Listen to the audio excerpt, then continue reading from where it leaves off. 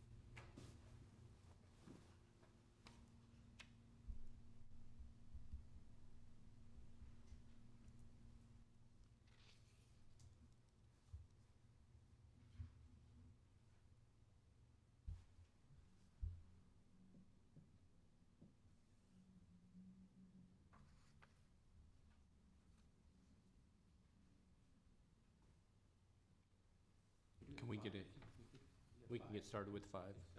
Okay. All right, great. We'll get started. I'd like to call to order this regular meeting of the Lincoln Lancaster County Planning Commission of April 29th, 2015. A printed agenda is available outside the hearing room, and a copy of the full agenda, including the staff reports, is available at the front of the chambers with the clerk. The Open Meetings Act is posted just inside the doors at the back of the room. Uh, If you are parked in the parking garage across the street to the north, be sure to pick up a coupon for free parking right over here, please. And out of courtesy for those attending this meeting, the commissioners and the staff, cellular phone usage is not permitted in these chambers during any portion of this meeting. We will appreciate your cooperation. The Planning Commission action today is final on items 1.1 and 1.2.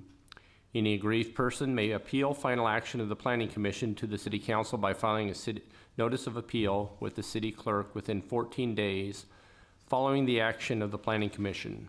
The Planning Commission action on all other items is a recommendation to the City Council or County Board.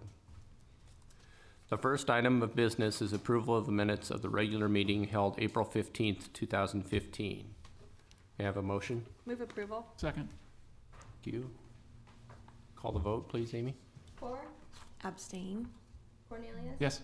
Scheer, Yes. Beecham. Yes. Hove. Yes. Um, motion failed due to lack of a five, um, to, oh, quorum. So we'll need to probably delay that motion until we have, Okay. Until Lynn arrives. thank you. The next item of business is the consent agenda. Items on the consent agenda will be called at the same time and will not be scheduled for a separate public hearing unless there is a request for someone wishing to speak or at the request of a commission member. I will ask Jerry to read all of the consent agenda items into the record. Once those items are read, she will ask if there is anyone wishing to speak.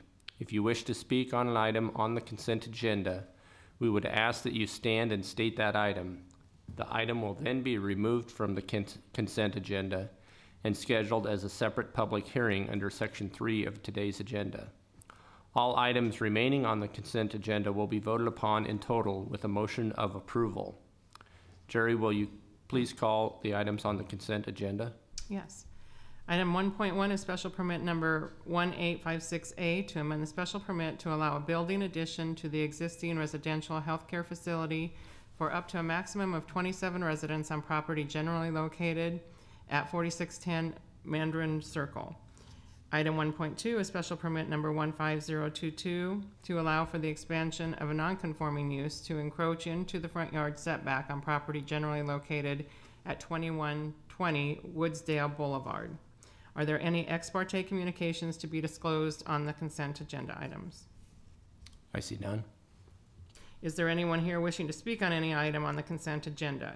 If so, please stand and state that item. I don't see anyone, so we'll entertain a motion. Move approval? Second? Thank you. Amy, please call the vote. Corr, Yes. Cornelius. Yes. Scheer, Yes. Beecham. Yes. Hove. Yes. Motion carried, five to zero. Again, this is final action on special permit number 1856A and special permit number 15022 unless appealed to the city council. There are no requests for deferral on today's agenda. We will now proceed to public hearings. The staff will make a brief presentation. The applicant will then be requested to present his or her testimony, followed by those who wish to testify in support, followed by those who wish to testify in opposition. The staff will then be given an opportunity to respond to the testimony, and then the applicant shall have an opportunity for rebuttal. Each person testifying should state their name and address and shall have five minutes to speak, unless additional time is requested and granted. The timer will go off after four minutes, then you will have one minute to wrap up your testimony. The Planning Commission will vote immediately at the close of the public hearing unless the commission votes to defer action or continue the public hearing. Jerry, please call the first public hearing item. Okay, item four point one is change of zone number one five zero one zero to designate the former Nebraska Wesleyan Hospital as a landmark, changing the zoning district from B three to B three with landmark overlay on property generally located at North Forty-Eighth Street and Madison Avenue. Staff recommendation is for approval of landmark designation. Are there any ex parte communications to be disclosed on this application? I see none. Ed? Ed Zimmer for the Planning Department. Um, Pleased to present to you the Wesleyan Hospital and Nurses Training School, um, little building that stands at the corner of North 48th and Madison. It was built in 1906 um, and originally served that function of a, as a private doctor's-owned hospital and nurses training school till about 1912, um, when that use ended, at least briefly. It was a uh, boarding house for a time, private hospital again, then was converted to apartments in the 1920s, and has continued in that use. Now is under uh, rehabilitation, and this not this landmark application is in support of that rehabilitation project. Uh, the Preservation Commission has reviewed it and recommends it to you for your approval as a landmark. Any questions for Ed? Ed, do you know what the plan is? Is it going to be rental? Uh, I, I, I believe they, they call it, they call the project Madison Avenue Lofts. Um, I believe it, um, is planned for rental, um, and I think would be about, um, twelve or maybe a few more units that. It has three full floor, sunlit floors. Basement, um, has fairly large windows just on the sidewalk level. Ed, are there any, uh, it looks like there's not much left on the interior that's original True. from the pictures. Um, And that, that was rehab work begun by the previous owner. Um, There, there's still some evidence of the apartment use. The two, it, it sits up on a high first floor, and the staircases from the sidewalk are there. There are two side, two staircases. Apparently, f- in the very first year, the front was a hotel and the back was the hospital. Um, That use ended within the first year, and then I think they were combined together. But you can still see the two staircases inside that probably um, related to that separated use. The difference between a hotel and a hospital at that time was probably fairly slight at this level of hospital. What does the landmark give designation provide? Mostly it provides protection, that the exterior would, would stay largely as we see it. Um, It does provide the applicant an opportunity to seek certain state of Nebraska um, tax incentives. We we will also attempt for him a National Register nomination. Um, Our local process gives us a little more flexibility. I think we've got a very strong story here. We don't have a very strong interior. And we will do what we can and, and make the best case we can for National Register nomination, which would give him the possibility of the federal income tax credits, which would be very significant to supporting the project. There are now two state of Nebraska possibilities as well, which should be open to him with the local landmark designation. And so um, we're seeking everything we can to help this worthwhile project. Any other questions? Thanks, Ed. Is there anyone here wishing to testify in support of this item? I think you have the, The applicant? Applicant. Okay. Brett, do you want to?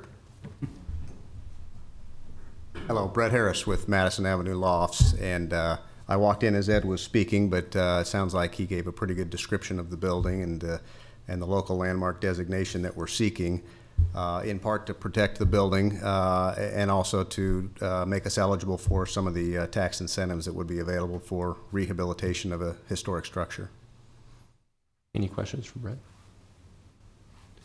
You need to state your name and your uh, address. Sure, Brett Harris, B R E T T H A R R I S.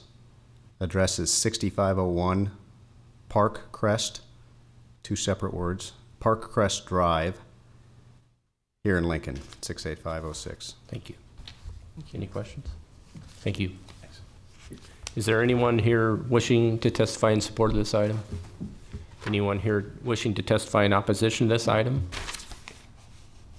Do we have any staff questions? Uh, I'd entertain a motion. Move approval. Thank you. Second? Thank you. Amy, call the vote, please. Do we have comments? I'm, That's I'm okay. sorry. Sorry, can I make a quick comment? Sure. Um, I just, uh, before we vote, would like to thank Mr. Harris and his partners. Um, I'm always delighted when I get the opportunity to vote for a project that helps preserve our heritage here in Lincoln, and I think this is terrific. I'm going to support the motion. I'd like to echo Commissioner Beecham's comments. I appreciate people who take the, the time. I know it's sometimes more expensive to rehab these than to just do other things with them, so I appreciate that. Thank you. Amy, call the vote. Four? Yes. Cornelius. Yes. Scheer. Yes. Beecham. Yes. Sunderman. Yes. Hove? Yes. Motion carried, six to zero. Do we want to move back to the approval of the minutes? Sure. Do you need to enter- Call the vote again. just call the vote? Okay. Amy, call the vote on the, Corr, Abstain. Cornelius. Yes. Scheer. Yes. Beecham. Yes. Sunderman. Yes. Hove. yes. Motion carried, five to zero. Thank you.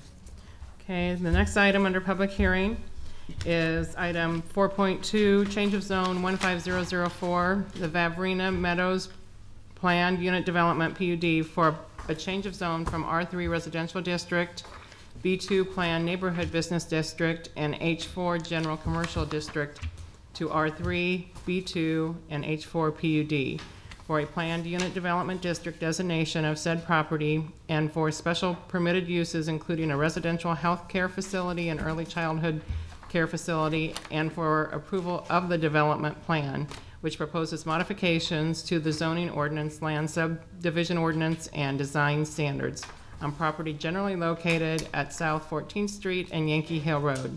Staff recommendation is for conditional approval. Are there any ex parte communications to be disclosed on this application? I see none. Good Welcome. afternoon, Christy Eichorn, planning staff. What I'd like to do with this particular application is start off by talking about the waivers that are listed in the staff report, talk about some of the original waivers that came in when the application was first submitted to the planning department, and how this application has changed since the applicant had a meeting with the neighbors um, and listened to their concerns, and how they revised their plan. So I'm going to start on page four. A lot of the waivers that are listed here are not new waivers. Years ago, when we would approve use permits and special permits, we didn't always approve individual waivers individually. Um, we would approve a site plan and we had to have strict compliance with that site plan. And over time, we found that it can get kind of confusing to figure out when a waiver was actually approved, was it intended to be approved and not. So since we are taking a project that currently exists and combining it into one permit, we wanted to be specific in terms of what the approval process was. So let's answer that first question of what do you mean, Christy, that we're taking a bunch of different permits and putting them into one permit? This area is referred to as the Vavrina Meadows development. And when it was first developed in the 90s, it came in as three different documents. We have an area that's a community unit plan that has apartments in two different areas, and actually up further north. We have a use permit, which is the B2 area, and we have a special permit, which is planned service commercial, which is the H4 area. All of this was developed at the same time and it was master planned together. But back in those days, we didn't use the tool of the PUD as often as we do today. And so they were all done separately. Every time we have to do an amendment to one of these areas, we actually have to do an amendment to all three of them in order to keep the master plan consistent. So what we're doing with this planned unit development is bringing both the B2 and the H4 into one development. The CUP, or the Community Unit Plan, the special permit for residential development, will continue to stay on its own. All the notes, all the restrictions, all of the um, waivers that were associated with the commute stay exactly as they are today. So we're combining the B2 and the H4, and we're carrying over all of the notes that were in the special permit and the use permit to the planned unit development. That leads us to our waiver discussion. In the waiver discussion, um, the first three waivers um, listed the lot width to depth ratio, frontage smaller than 75 feet, and internal setbacks within the H4. This is exactly an example of when we had something that said it needs to be in compliance with the site plan, but we had waivers that were not specifically listed. So we just want to list those so that um, we can provide clarification for future development. When we talk about reducing the internal setbacks within the B2 district um, from 20 feet to zero feet, and that second one after that, the side yard setback from 20 feet to 12 feet, that has to do, here's kind of a more specific site plan,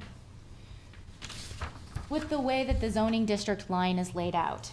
Today, there is a daycare located here, and there is, this is the B2 area here to the south. You can see that there is an existing driveway or drive, an, ex- an existing street that comes through here. And so if you were to try to provide screening like we normally require when you have residential that is abutting commercial, then you would have a six-foot fence and landscape screening separating those two. And they don't function separately. Um, the daycare is really part of the commercial development and it all functions as a cohesive whole. And so um, in order to have the drive there and have the parking and not have to put a six-foot screen in between the two zoning districts, um, we wanted to be specific and note that with the waivers. So then we get to the next two waivers, which was to allow residential uses on the first floor. Um, and that one is a new waiver. That is one that um, we did discuss with the neighborhood. The original proposal that came in, let me go back to this, this map. The original proposal that came in showed a, uh, an apartment building that had the same setbacks as the existing apartment building to the north. Because this is residential zoning, it was only required to have a 30-foot rear yard setback. Because this is B2 zoning, it's required to have a 50-foot rear yard setback. And the developer originally wanted to align these two buildings for consistency sake. Um, he really wanted this to have the same look and feel as the building to the north after having the neighborhood meeting, and at that meeting, I'd say we had about four families um, that showed up, eight to 10 people, and they expressed the concern about having that building move closer to them when the original approval showed a 50 foot setback. After that, the developer had put the, this particular application on hold, came back, revised the site plan, um, showed the 50 foot setback, and agreed not to have any protrusions into that 50 foot setback. The original application as it came in showed not only a 30-foot setback, but also showed balconies and other obstructions, not obstructions, but other um, uses that would encroach into that setback. So he did move that, that forward. All of those waivers that had originally been associated with the apartment building were removed. And the only waiver that is now being requested is that you allow for residential on the first floor of this building. The B2 zoning district is a use permit district, it's a commercial district, and it has always allowed for residential above the first floor. And the reason for that is because in most commercial areas, you don't want to have um, the commercial strip along the first floor where people are walking and shopping broken up with residential dwelling units. In this case, the apartment building is set back significantly from South 14th Street. And part of the plan is that the B2 that will, the building that will be located in the B2 closer to 14th Street will have first floor uh, retail and office, and it will have second and third floor um, apartments. And so the waiver is specifically for this, this building and allowing for residential development on the first floor there. Moving on to the next waiver, and it talks about allowing for three center signs along South 14th and two center signs along Yankee Hill Road. Most of those signs are already located there, and the number of signs were approved with the H4 special permit and the B2 use permit. Um, because we are combining those and putting them into a planned unit development, that changes um, the project and makes it into a single center. The problem is, is when you have a single center, then you only get one sign on each arterial street. And so because putting both of these permits together makes sense, we didn't want to strip, strip away given um, or vested rights in signage that the developer already had um, because he was taking this step to make this a more cohesive development. Um, the signs that are out there today could be electronic changeable copy. Um, I know that the developer does intend to utilize them as an electronic changeable copy. But the positive thing too is that the signs are minimal in height. I believe they're only eight to 12 feet high, which is what you're allowed to have in the B2 and H4 zoning districts today. Two more changes that I'd like to mention that were not waivers um, had to do with the early childhood care facility. Um, we mentioned that as an added use. Today, the early childhood care facility is part of the community unit plan. It's in residential zoning. It will be in a residential area as part of this planned unit development. But we have to specifically note it as a permitted use as part of the PUD since we're carrying the special permit that was granted with the CUP over into the PUD. The second use we added was that for residential healthcare facility. The developer has had some interest from folks who'd like to come in, especially since this is planned to be a mixed-use development with retail and commercial, to incorporate um, potentially some residential healthcare in, in some of the multifamily um, and the mixed-use development. Residential healthcare facilities are a special permit in the B2 zoning district. They are not permitted in any of the H zoning districts. So what this does is clarifies in the future, um, if some of the space in this B2 area wants to be used for residential healthcare facility, it could be used for that use. And it really does make sense to have that use in an area that is very mixed use in character. So those are the major changes that are happening um, with this PUD. Um, it is taking an existing development, um, consolidating it into one document, and adding some more elements of mixed use. And I'd be happy to answer any questions that you might have. Questions? Tracy? Just want to make sure, this is so in-depth here. Can you put the map back up with um, just the little one where it's kind of zoomed in? Sure.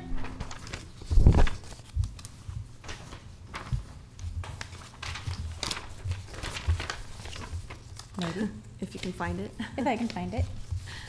Here we go. Okay, so um, I, the daycare is in R3, right? It, it is up here, yes, it's in the. Okay, so over the, the I-shaped building, is that R3 as well, or is that the B2? This one, no, this is also residential. Okay, and then from what I understood on your presentation, that I, we're just kind of lopping off the, the pointy outy things on one side to get back to that 50-foot setback. This, this is already built and constructed Oh, and okay. existed and was approved Okay. uh, previously. So it was the one down below that that we're moving? Correct. Okay. We're, we are extending the boundary of the PUD to include this, this residential, to bring the daycare into the PUD. And I guess I would mention that the rationale for that is because this does function as part of the commercial, um, part of it, the, one of the signs that they will be utilizing will be on this property, and you would not be able to do that under our code unless it was part of the commercial development. So when you were talking about, you know, the 30 to the 50-foot setback, it's really down that, that L-shaped building. It's right here. So they're moving, so is that showing with the 50-foot or just the, the 30? That's showing with the fifty foot. Okay. I have a question for you, Christy. Tracy, are you finished? Yep, thank you. Um, you, you mentioned the waiver of the fence, um, between the business and the residential section. would that also, what's, what's the screening between um, the bottom right L-shaped building and the residences behind? Can you just talk about that for a minute? Um, they're required to have a screening, basically it could be a six-foot fence. Okay. I believe in this case it's a six-foot fence with landscaping as well. Okay. Um, if So that, I'm sorry, that fence waiver is just kind of on the front, right, where it's not talking about taking away that, waving the fence back there behind? The fence waiver is really only for this area up here, where we have commercial and residential, and we have that driveway. Um, and of course, you know, we we wouldn't require it necessarily between these two, because these two apartment buildings go together, and we wouldn't wanna, um, disrupt the continuity between the two. And then talking about the mixed use, which I, I really like, um, it, just out of curiosity, I couldn't tell from the site plan, is there much walkability between the residences and the business area? Are there sidewalks and stuff? There are sidewalks. Okay. Um, sidewalks are required on all of the internal streets, and let me see if I can, I can kind of zoom out here.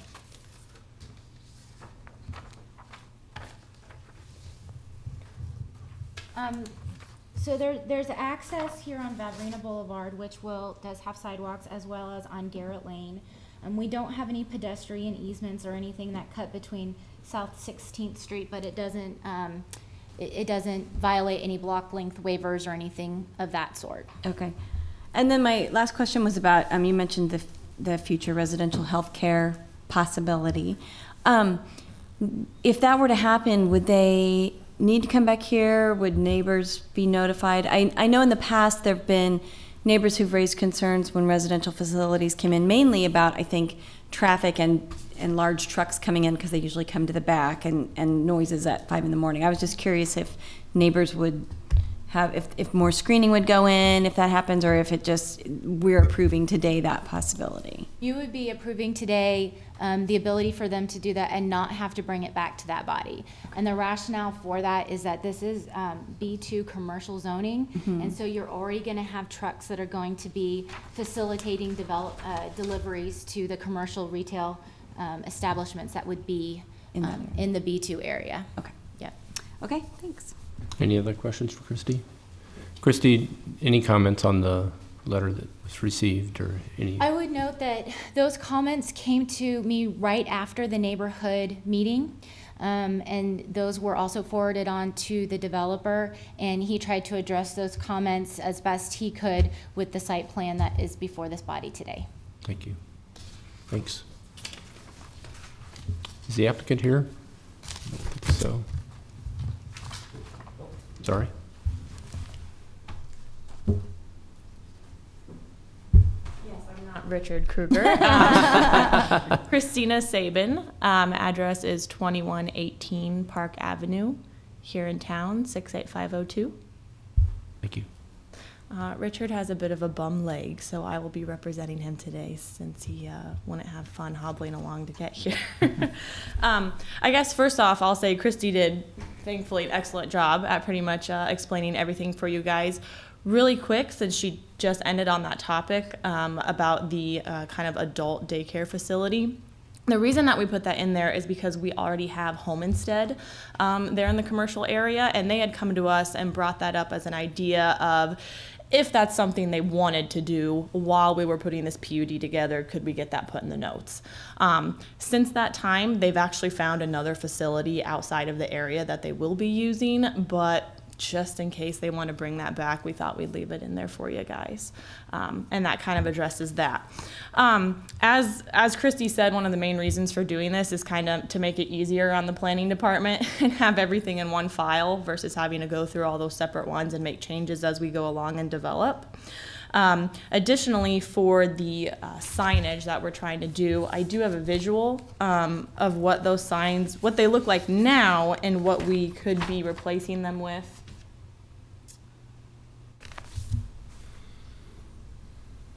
It's coming up.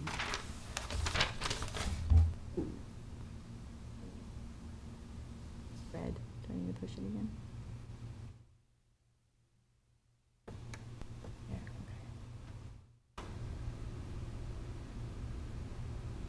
okay. Hmm. There's no signal to. There we go. Um, So as she said, a couple of the signs that are already there in existence um, are these stonework ones, and we are wanting and looking to switch them over to the digital signage. Um, so that way, it does make the PUD more uh, cohesive to where you know we're not allowed, or I should say, the the tenants aren't allowed to have individual signage out there on the road. So this way, they can all take advantage of those digital signs um, and have their adver- advertisements along 14th there um, as a, I think, a cleaner, cohesive unit versus trying to put different things out there for them. Additionally, I have visuals of the mixed-use building um, that we're showing, so that can kind of give you an idea uh, of what our architect has developed there with the residential on the bottom, or excuse me, commercial on the bottom, and then residential for second and third floor. Um, and I know that's something that we're pretty excited about doing. One of our first uh, first attempts at doing the mixed use in the same building. Um, so that just kind of gives you an idea of, of what we have there. Um, as for the setbacks, that'll be going along that uh, L-shaped apartment building that Christy had up there for you. We are more than happy to work with the individuals that live uh, in those homes behind that area.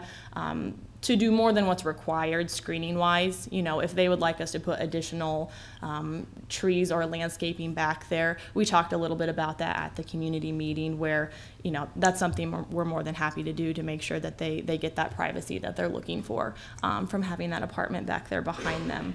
Uh, additionally, I think, uh, I don't know if it was mentioned, we will have underground parking in those buildings. Um, so hopefully that helps a lot with the traffic flow and we won't have all those additional cars parked out there, again, kind of in their backyards, um, trying to help that aspect of things. But, um, I mean, unless you guys have additional questions for me, Christy did great. I did have a, I did come up with something else. Okay. Um, how tall is the apartment building that's presently there, kind of to the north of this? The one right to the north, I believe, has an additional three-foot uh, waiver for it. So that was something that we discussed at the neighborhood meeting also, is that we originally were gonna ask for that extra three foot. Um, and, you know, we got a response from the neighbors that they would prefer we don't do that, so. How this many one- stories is it then? It's three, It is three already, okay, with an additional three foot, right. okay. Other questions? Thank you. Okay. Is there anyone here wishing to testify, testify in support of this item? Is there anyone here wishing to testify in opposition to this item? Do we have any questions for staff? If not, I'd entertain a motion. Move approval? Second? Discussion? I just want to thank Christy for the great explanation. This has a lot going on with it. And I want to thank the developer for meeting with the, with the neighbors and kind of addressing some of those concerns. Um, I think if you guys are willing to, you know, put in the six-foot fence and work with them on the landscaping, then that should alleviate some of the issues that they're concerned about there. Anything else? I agree. I really appreciate Krieger being willing to go so far as to change their plan um, to try and make this all workable, and I, I really appreciate it. And I, I like this project. I think um, it makes a lot of sense, and I intend to support it. Thanks, I agree. I think uh, it helps organize the whole, whole plan, put it all together, and uh, it's good for the neighbors as well as, uh, as for the business community. Amy, please call the vote. Four, Yes. Cornelius. Yes. Scheer. Yes. Beecham. Yes? Sunderman. Yes. Poe. Yes. Motion carried, six to zero.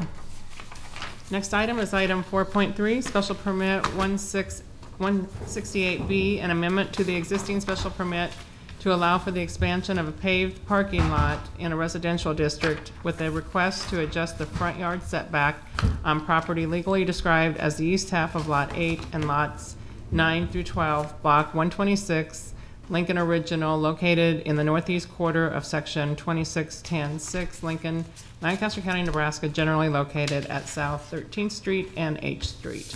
Staff recommendation is for conditional approval. Are there any ex parte communications to be disclosed on this application? I see none. Steve Hendrickson with the Planning Department, filling in for Paul Barnes, who is out today. Uh, This is an expansion of an original special permit 168 that was approved in 1959. Um, It's for a parking lot that is generally to the west of 13th Street on the north side of H Street. So the original parking lot was generally this western portion of it. In 2002, it was expanded to the east and to the north of this area that is in question. Uh, The area that is in question at one time was occupied by three uh, residential structures. There are just two there at the present time. Uh, The request is to demolish those existing structures and uh, have paved parking lot on the entire area. Uh, This application is only a block away from the Capitol, so it was reviewed by the Capitol Environs Commission. Uh, They, uh, in February, they recommended approval of both the removal of the existing houses, which are in quite rough shape, and the new plan for the parking lot that included uh, the landscaping along the east and the southern boundary as shown. Uh, Part of also the reason that is in front of you is that typically, uh, being in an R8 residential zoning district, it would have a 10-foot setback, but as it was originally approved, it was approved with a five-foot setback. And so in order to uh, keep the continuity of the existing special permit, uh, the request is to expand the area of the setback reduction from 10 to 5 feet to cover the southern area of- of the parking lot as well. Um, This area, because it is uh, to the north is the Lincoln Mall, and we are definitely encouraging most of the buildings to be facing the mall. Um, A lot of the parking for the uses that are facing the mall are along H Street. So you have this parking lot, you have a parking lot to the east, you have an office use to the south. Uh, Caddy corner to the southeast is Billy's Restaurant. Um, a lot of office uses to the north. So you really don't have much of a residential character left in this area. Uh, so as such, with the approval of the Capitol Environs Commission, uh, we'd also recommended approval of this expansion of the special permit for the parking lot. Be happy to answer any questions. Questions for Steve? Hi, Steve. Um, I know you, you probably know that, um, taking down houses and putting in parking lots normally gives me big heartburn, uh, especially historic ones. But, um, as I understand it, looking at this and looking at what Capitol Environs looked at, um, this really isn't necessarily setting a precedent that that always makes sense. What, what we're saying here is that this makes sense in this area because of the overall Capitol Environs plan of trying to keep parking off the mall. Am I understanding yes, that that right? is certainly an important part of it, and, and you're correct. We don't have a blanket approval for uh, parking lots. That's why they're special permit in residential districts. Uh, we have a lot of them throughout the city that are approved, but they're usually reviewed on a case-by-case basis. Um, and so, yes, definitely in this circumstance, you're trying to keep the more intensive land uses facing Lincoln Mall and not having parking lots on it at all. And then it looks like we've got some extra landscaping in there as well to make it, you know, kind of soften. As soften much as they could fit in the space on the southern end, which is only five feet. On the eastern end, where there's a little more space, there's not only the landscaping, but they've added some trees as well. And the existing trees that are in the right-of-way would be retained both on the east and the south side. Other questions for Steve? Thank you. Applicant?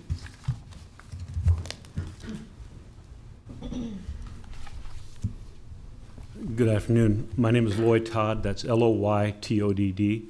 I am the president of NADCO, which is the for-profit division of the Nebraska New Car and Truck Dealers Association. Could you give us your address, please? 701 South 13th, which is the, which is the building uh, exactly south of this property, which is what got me here. Um, We are not in the real estate business, we're not in the development business, and, and um, we just simply, uh, I I look out that window uh, at those houses every day, and uh, they're just in unfortunate condition. It's, uh, there used to be three of them. The worst of them was finally taken down, I think, under some pressure uh, uh, some time ago.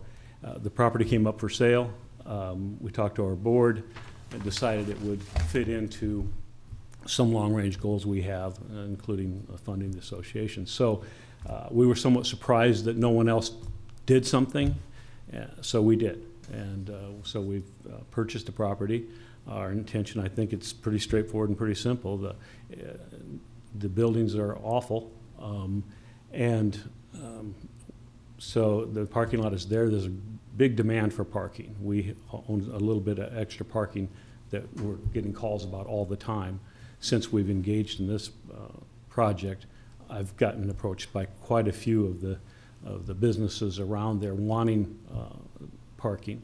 So all we're trying to do is simply match the existing parking lot. On the south side, the- there's an encroachment on the right-of-way. We simply want to line up with that, rather than have a jog in our parking lot. Uh, The landscaping, uh, we certainly want to do. We want to do as much as, as, as we can do there.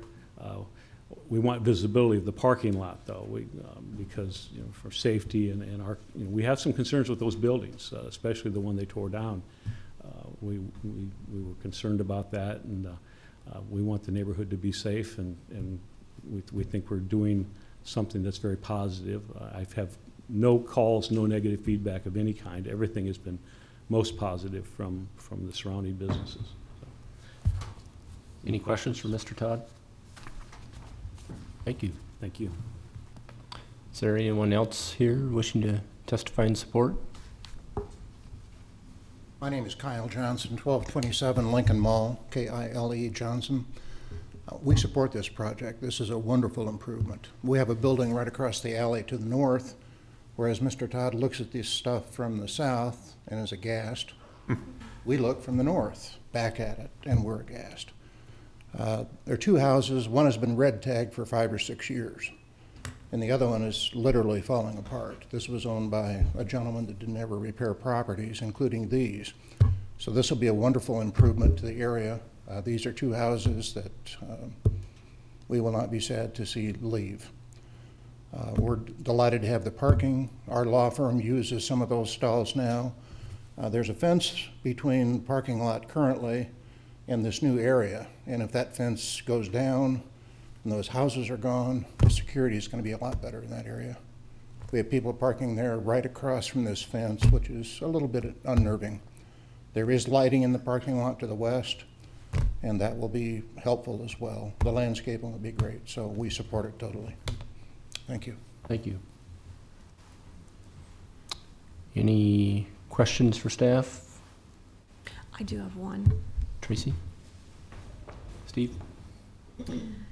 If at some point in the future, they would want to put a parking garage or something on here, would they have to come back before planning commission and get approval for that? Correct. This is just for a parking lot, not a parking garage. Great, thank you. Guess that's it. Thank you. Lloyd, anything else you want to add? Okay. If not, any discussion, I'd entertain a motion. Move approval. Thank you. Discussion? Um, I'd like to comment. Um, I intend to support this motion. Um, I think it probably makes sense given the current circumstances. I will say, I think it's very disappointing that properties have been allowed to deteriorate um, to such a degree that, that it's impacting the businesses nearby, um, that something's been red tagged for five years and we haven't required um, the owner to make improvements, I think is, is extremely disappointing. Um, however, I think given the current condition and given um, the, the landscaping and things that are going on here, I, uh, I think this is the right step at this time and I intend to support the motion. Thank you. I agree with Commissioner Beecham, and, and normally I'm a little hesitant about tearing down houses, but I'm familiar with the property owner and I understand, I mean, if it's been red tagged for that long, I appreciate you guys doing something about it and helping us clear up the blight. Um, and a, and a big part of my decision too is that there's no residential uses around this, so it, it seems to be a, a more appropriate use for this area. Anything else? Yes, I'd also agree. I think it's a good uh, use of the uh, property and uh, will help, help folks in the area. So Amy, please call the vote. Ford? Yes. Cornelius? Yes. Scheer? Yes. Beecham? Yes. Sunderman? Yes. Poe? Yes. Motion carried, six to zero. At this time, anyone wishing to speak on an item not on the agenda may do so. If not, we're adjourned.